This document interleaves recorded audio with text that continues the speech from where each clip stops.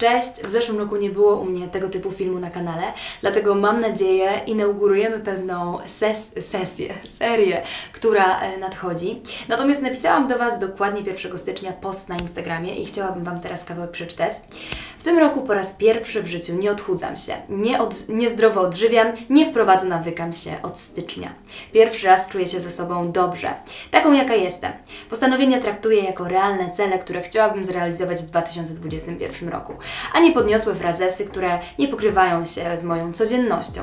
Czy napisałam w tym roku postanowienia noworoczne? Tak.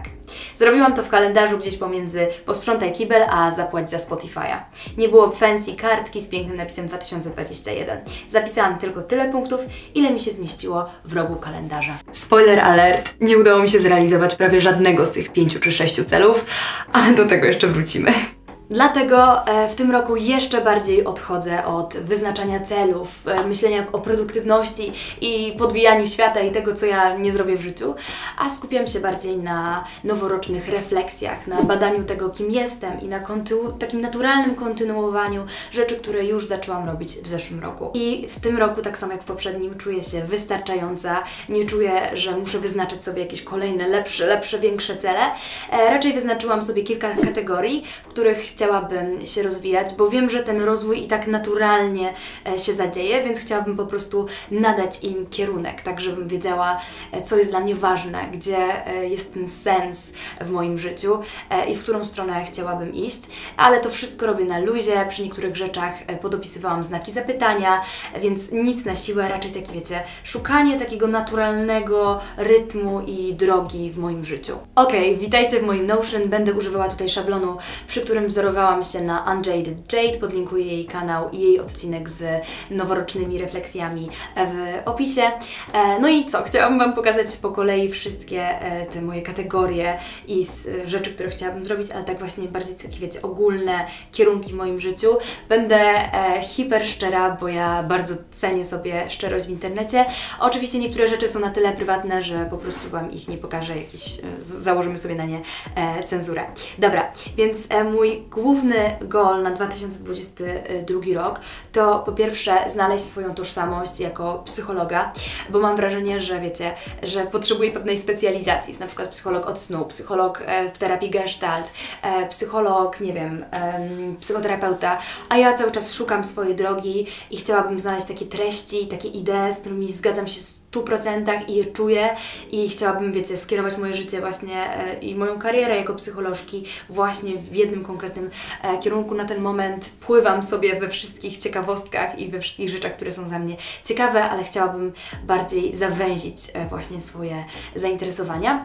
No i chciałabym, żeby 2022 rok to był rok przede wszystkim ludzi i relacji, inwestowania w relacje, inwestowania w ludzi, którzy są dla mnie ważni i żeby to był dla mnie priorytet, a nie właśnie mój samorozwój.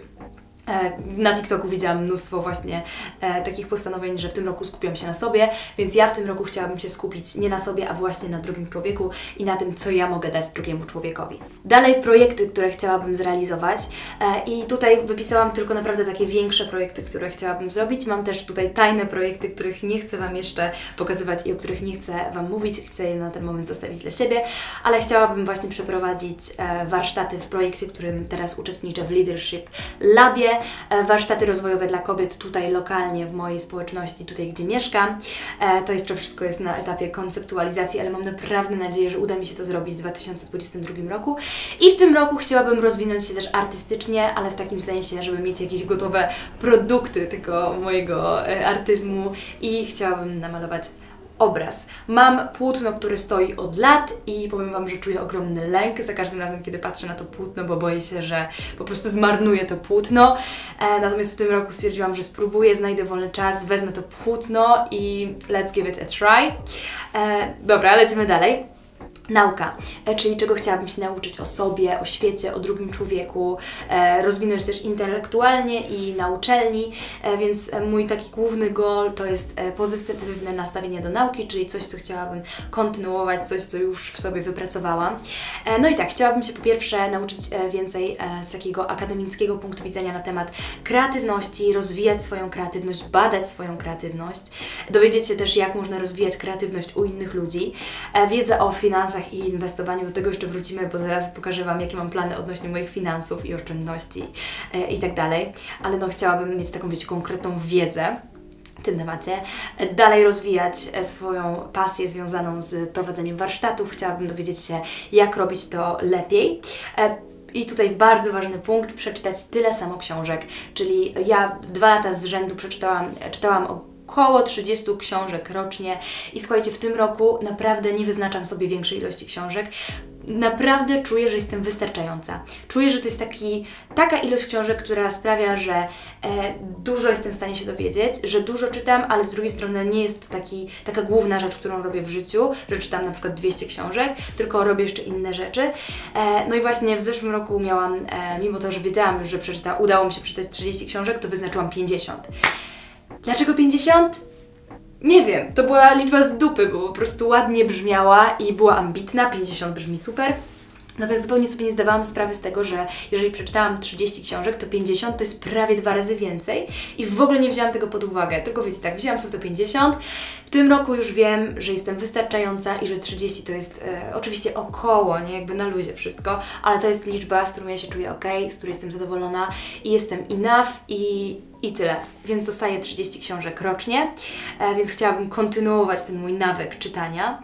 E, zacząć słuchać podcastów, to takie bardzo ogólnie. Ja słucham mało podcastów, a czuję, że tutaj, wiecie, mm, marnuję może jakąś, jakąś możliwość rozwoju, więc chciałabym przeczytać, e, przeczytać widzicie, słuchać więcej podcastów. Dowiedzieć się czegoś o terapii Gestalt. Mam zamiar przeczytać dwie książki o terapii Gestalt, mam dwa eseje do napisania w tę sesję, więc na właśnie w kontekście Gestaltu, więc na pewno dowie, dowiem się więcej, to mnie nie ominie. Dalej umiejętności. Jeżeli chodzi o umiejętności, to mam całą inną, oddzielną stronę w Notion e, i też chciałabym ją Wam pokazać. Więc tutaj e, to jest strona z moimi talentami i umiejętnościami i relacji pomiędzy nimi, czyli jak chciałabym rozwijać moje talenty w kontekście rozwijania moich umiejętności. E, I tutaj ta strona zaczyna się od e, takiego testu, który zrobiłam. Możecie go sobie zrobić, podlinkuję Wam go w opisie. Nazywa się Via Character e, i tutaj możecie zobaczyć, jakie są Wasze mm, mocne strony. Ja uwielbiam ten test, dlatego że te mocne strony są często takie nieoczywiste. I u mnie to, co wyszło, to zaumiłowanie do uczenia się, zapał, entuzjazm, kreatywność, ciekawość życia, docenianie pięknej doskonałości, nadzieja, mądrość, no uważam, że serio to jest tak trafne. E, no i właśnie e, staram się badać e, te swoje takie mocne strony i zastanawiać się, jak mogę je rozwijać. Tutaj dalej mam wypisane wszystkie umiejętności, które chciałabym się nauczyć i Powiem szczerze, że to nie są umiejętności na 2020 rok sensu stricte, raczej ogólnie umiejętności, które chciałabym zdobyć w życiu. Mamy tutaj pisanie, humor w pisaniu, e, networking, zupełnie nie umiem w networking, naprawdę. E, umiem w ludzi, umiem w rozmowę z ludźmi, nie potrafię postrzegać ludzi jako zasób taki biznesowy. Zupełnie tego nie umiem, nie umiem tak podtrzymywać relacji, tak wiecie, raz na pół roku, średnio mi to wychodzi, więc networking to jest coś, co chciałabym, e, umiejętność, którą chciałabym rozwinąć. Granie w szachy już zaczęłam, gram ze znajomymi, gram w internecie i ogólnie bardzo lubię grać w szachy. Prowadzenie warsztatów, to już mówiłam o tym. Filmmaking, chciałabym wykorzystać jak najlepiej sprzęt, który mam, e, ogarnąć światło, ogarnąć aparat. E, czuję, że nie jestem jeszcze w momencie, w którym jestem. I to, co jest ważne w tych umiejętnościach, to jest to, że biorę potem taką umiejętność konkretną i wypisuję sobie konkretne rzeczy, które mogę zrobić, żeby rozwinąć daną umiejętność. I tak na przykład tutaj storytelling, chcę przeczytać książkę Narratologia Inwestowanie mam konkretne e, kroki, które chciałabym podjąć. Dalej mamy grę na, grę na gitarze. E, napisałam sobie też wszędzie, co mogę zrobić, żeby realnie rozwinąć tą umiejętność. Tak wiecie, rozebrać sobie to na części pierwsze. I to tyle, jeżeli chodzi o e, moje umiejętności i moje talenty w tym roku. Wróćmy teraz na chwilę do moich postanowień noworocznych. Znaczy postanowień, refleksji bardziej noworocznych. Mm, tak, dalej prywatne no i tutaj właśnie mój taki main goal to jest skupienie się na drugim człowieku, żeby naprawdę przekazać taki focus na drugiego człowieka, e, a właśnie nie na siebie, nie na sobie. Ja już kiedyś Wam w, pewnym, w jednym filmu, chyba, w filmie, chyba tym z Mają mówiłam, że czasami mam problem z egoizmem e, i gdzieś tam staram się to przepracowywać, z tym walczyć i dlatego ten 2022 rok mam nadzieję, że to będzie rok ludzi u mnie w życiu. E, po pierwsze chciałabym się wyprowadzić z domu rodzinnego, zobaczymy czy mi się to uda. E, to będzie ogromny krok dla mnie. E, zatroszczyć się o ludzi, którzy są dla mnie ważni, czyli z jednej strony zatroszczyć się i inwestować w relacje, które już są w moim życiu, a z drugiej strony poznawać nowe osoby e, i traktować każdego nowego człowieka jako interesującą osobę, która może mi przekazać coś, czego nie przekaże mi nikt inny. Czyli e, taki naprawdę fokus na taką jakość, e, którą można odnaleźć w drugim człowieku. E, to jest mój goal na właśnie kolejny rok. Dalej, znaleźć swój styl i taką tożsamość, e, bo czuję, że nie jestem jeszcze w tym momencie, w którym chciałabym być, zarówno jeżeli chodzi o moje ubrania, o mój styl tutaj design pokoju, czy treści, które publikuję.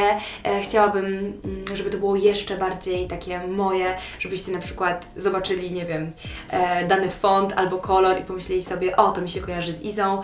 Chciałabym coś takiego właśnie osiągnąć w tym roku, zobaczymy, czy mi się to uda, bo na razie trochę tak wiecie, po omacku patrzę, co mi się podoba, co nie, ale czuję, że tutaj jest ogromna przestrzeń na potencjalny rozwój.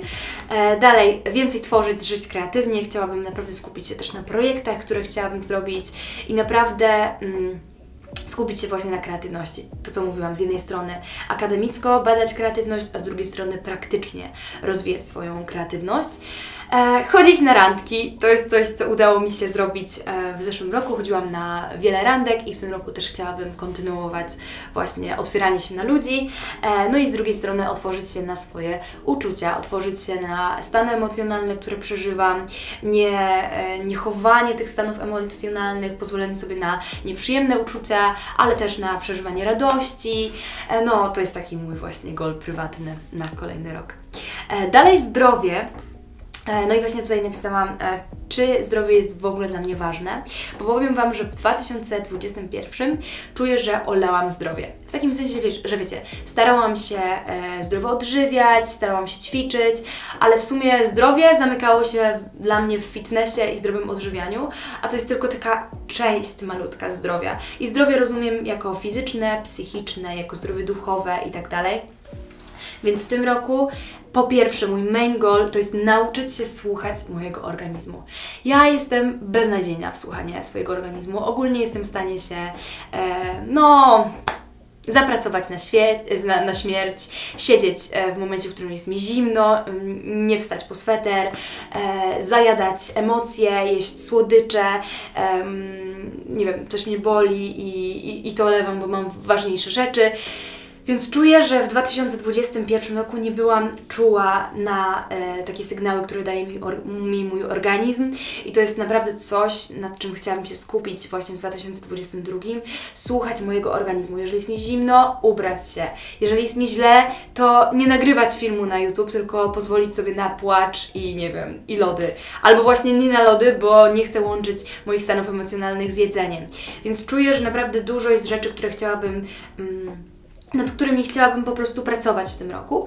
E, więc tak, tutaj mam wypisane parę rzeczy. Zbudować zdrową relację z jedzeniem, nie zajadać emocji, to jest e, u mnie naprawdę e, dosyć duży problem, może kiedyś Wam powiem o tym więcej. Natomiast ja lubię mówić o takich rzeczach, kiedy mam już je przepracowane, a nadal czuję, że to jest oh, bałagan i przestrzeń na rozwój i na ogromną pracę.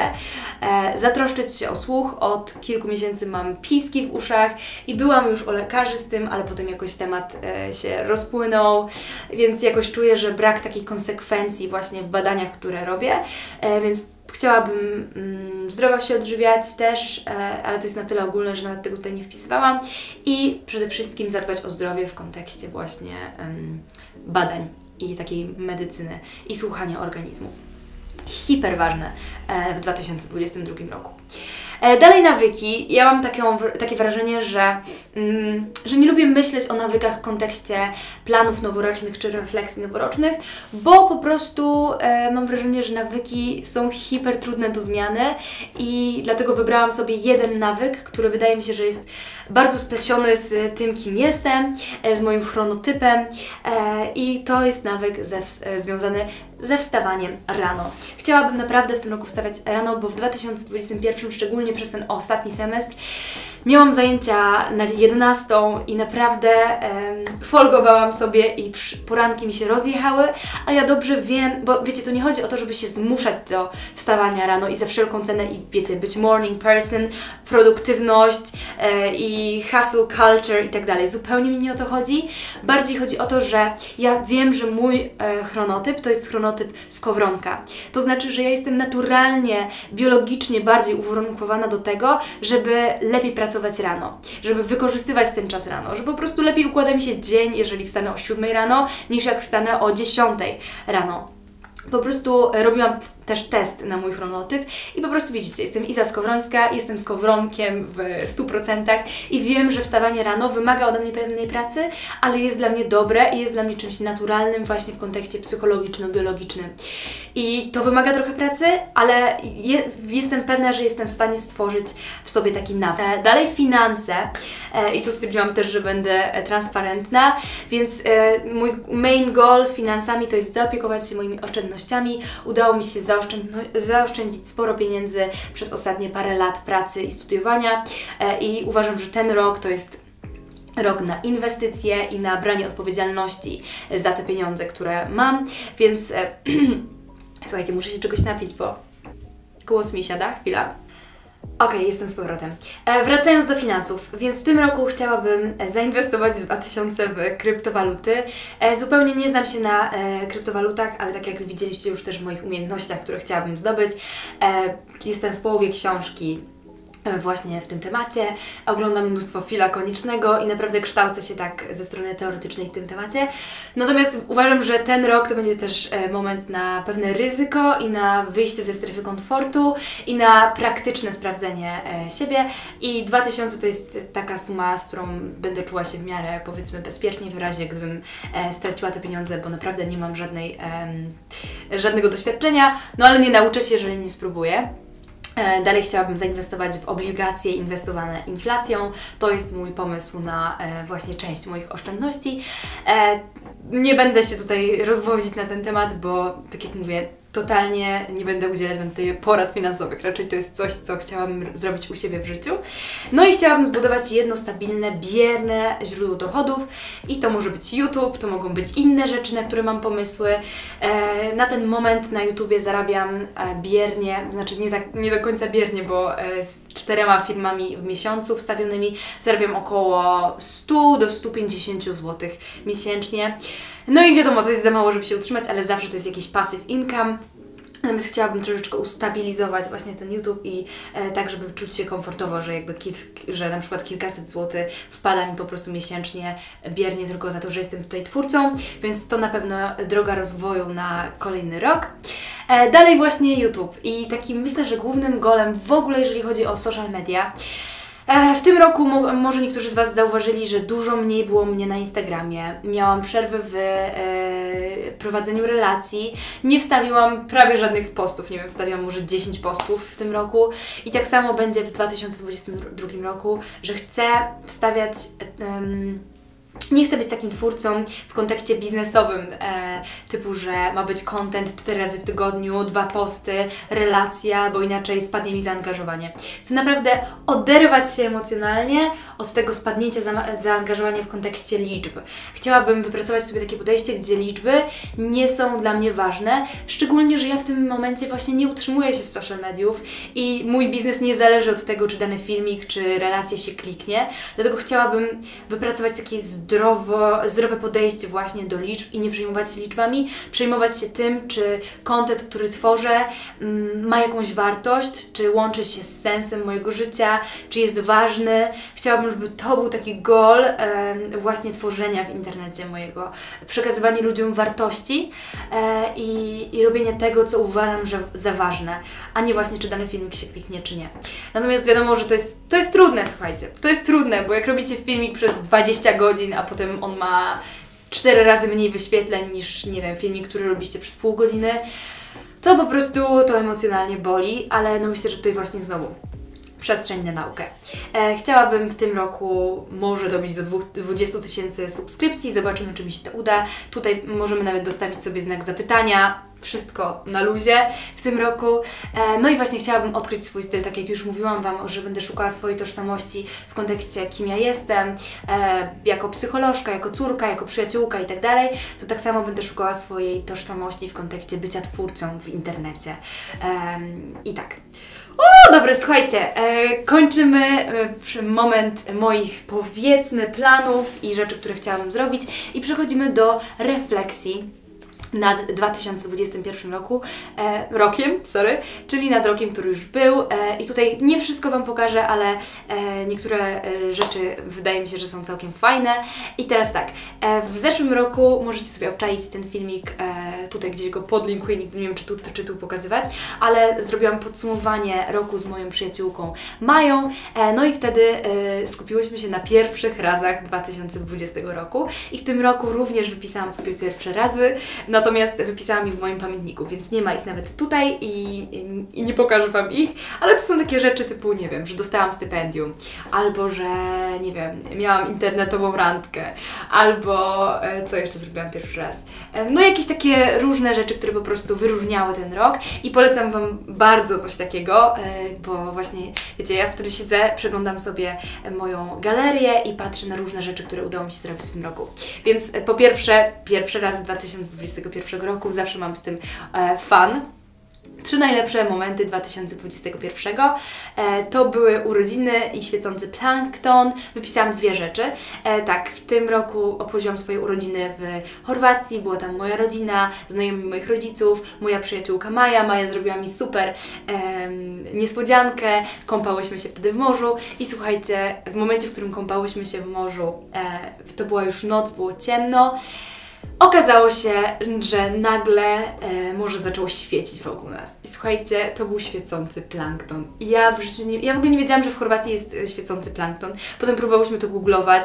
Raczej to jest bardziej w takich egzotycznych miejscach, więc to był najbardziej chyba magiczny moment tego całego roku. E, mega, mega, e, po prostu mega fajne urodziny, 22 urodziny. A po drugie, e, wszystkie takie krótkie wyjazdy do Sopotu z Mają, do Gdańska z Igą, do Poznania do mojego kolegi Mateusza. Naprawdę mega, mega doceniam takie króciutkie wyjazdy. Nawet no po prostu jestem fanką krótkich wyjazdów, pisałam Wam o tym też kiedyś na Instagramie i zdecydowanie uważam, że to były highlighty e, tego roku. Oprócz tego, a to chyba będzie z czego jestem dumna, więc jedziemy dalej. Z czego jestem dumna? Więc w lutym wygrałam najlepszego polskiego mówcę, to było mega, mega fajne osiągnięcie. E, Kraków, o tym Wam jeszcze nie mówię. E, I ze wszystkich wykładów, które przeprowadziłam. W tym roku przeprowadziłam chyba z 5 czy 6, może nawet więcej, wykładów z efektywnej nauki, z psychologii, z podejmowania decyzji, był wykład o depresji, e, no i feedback, który dostałam od ludzi, no naprawdę sprawia, że poczułam, że to, co robię, mm, jest po prostu mega, mega wartościowe i mega ważne i no i czuję, że to jest fajne i tyle. Więc to są takie trzy rzeczy, które przyszły mi po prostu do głowy, z których jestem dumna. What challenged me the most? Tutaj właśnie z tego Unjaded, z, a, od Unjaded Jade w niektórych e, miejscach nie, nie zmieniałam na polski. E, więc po pierwsze, challenge'ujące były dla mnie sprawy rodzinne, e, odejście od kościoła. W tym roku miałam największy kryzys wiary mój ever i ogólnie nadal nie wiem, co będzie z moją wiarą. Zobaczymy. E, I imposter syndrome. Chyba w życiu nie czułam takiego e, syndromu oszusta jak w tym roku, bo naprawdę challenge'owałam się zrobieniem i stworzeniem treści dla Was, właśnie też w kontekście tych warsztatów. Czułam, że właśnie, że kim ja jestem, żeby do Was mówić. E, I naprawdę czułam tak taki po prostu obezwładniający e, syndrom oszustwa i to jest coś, co na pewno będę czuła też w przyszłym roku i chciałabym z tym walczyć i wypracować jakieś mechanizmy obronne wobec e, tego syndromu oszusta, ale wydaje mi się, że to była taka największa, naj, największa taka trudność, którą się zmagałam e, w poprzednim roku najśmieszniejsze momenty to zostawię dla siebie, e, bo to są, wiecie, e, takie rzeczy związane z moimi relacjami i jakimiś tam śmiesz śmiesznotkami, e, więc to, to zostawiam dla siebie. Relacje, które były w tym roku dla mnie ważne, tu wypisałam sobie wszystkich ludzi, którzy jakoś przyłożyli się do tego, że 2021 rok był fajniejszy. Wypisałam relacje, które udało mi się odbudować, a odezwało do mnie się na przykład, nie wiem, moje dwie koleżanki, jedna z przedszkola, druga z podstawówki i naprawdę cieszę się, że mam te osoby. Jeszcze jedna właśnie koleżanka z liceum, odbudowałyśmy relacje, e, też nowe relacje, które się pojawiły e, w tym roku, relacje, których w ogóle się nie spodziewałam, że się pojawią. No naprawdę e, jestem mega wdzięczna za ludzi, którzy byli ze mną w tym roku. E, Czego się dowiedziałam o sobie w 2021 roku? Tego, że nie chcę pracować w social mediach. Miałam mm, w tym roku dwa takie króciutkie staże. E, No i po pierwsze dowiedziałam się, że na pewno social media to jest mm, dla mnie środek do celu, przekazywania Wam pewnych treści i rzeczy, które są dla mnie ważne i, i też takiego poczucia relacji z Wami i relacji z drugim człowiekiem, gdzie ja Wam coś mówię, Wy mi odpowiadacie, takie właśnie poczucie takiego, mm, takiej społeczności, to jest dla mnie ważne w social mediach, natomiast nie jest dla mnie ważne tworzenie social mediów w kontekście tworzenia kontentu, no nie wiem, jakiegoś takiego, wiecie, więc dlatego tworzenie sociali dla kogoś było dla mnie trudne, bo nie mogłam mówić o tym, co było dla mnie ważne, a musiałam mówić na przykład o produktach, które były ważne dla moich pracodawców, niekoniecznie dla mnie, dlatego to było bardzo e, trudne i stwierdziłam, że nigdy nie chciałabym pracować w social mediach dla kogoś, że social media są dla mnie tylko drogą do celu, a nie celem samym sobie. E, nie chcę pracować na pełen etat, w tym roku właśnie pracowałam em, po 8 godzin dziennie e, i, i, więcej miałam parę prac, no i właśnie jedna z nich mm, to był taki ala etat, tylko że dwa dni w tygodniu i doszłam do wniosku, że ja właśnie muszę mieć mm, zmienne źródła dochodów, dywersyfikację em, rzeczy, które robię, bo inaczej po prostu zwariuję. E, dalej, e, lubię zmiany, potrzebuję ich, to już wiedziałam też e, o sobie w zeszłym roku, ale podtrzymuję to. Nie przeszkadza mi bałagan, e, bałagan. tutaj za mną jest e, czysto, tamta część pokoju to jest burdel i zupełnie mi to nie przeszkadza. Jestem w stanie teraz do Was mówić i nawet być kreatywna i produktywna w takiej przestrzeni. E, czasem wycofuję się, żeby asekuracyjnie bronić swoich uczuć. Boję się, że będę zraniona. Myślę, że to jest też taka ogromna mm, właśnie mm, przestrzeń do pracy dla mnie, żeby otwierać się na, drugich, na drugiego człowieka. Mm, Nawet nie tylko w kontekście romantycznym, pewnie o tym pomyśleliście, ale też w kontekście budowania relacji i ufania drugiej osobie, że mogę jej powiedzieć coś e, o sobie, e, coś, co na przykład jest takie, wiecie, e, gdzie czuję się trochę insecure. Miałam w tym roku mega fajną rozmowę z moją e, taką koleżanką, przyjaciółką z przedszkola. Rozmawiałyśmy o swoich kompleksach i to była naprawdę taki krok do przodu w naszej relacji i mega się cieszę, że sobie zaufałyśmy na, nawzajem i, i, i czuję, że po prostu otwieranie się e, przed drugim człowiekiem i pokazywanie takiej swojej właśnie mm, bycia wrażliwym i bycia delikatnym i takiej podatności swojej na zranienie, no jest mega ważne w budowaniu relacji i chciałabym to e, badać w następnym roku.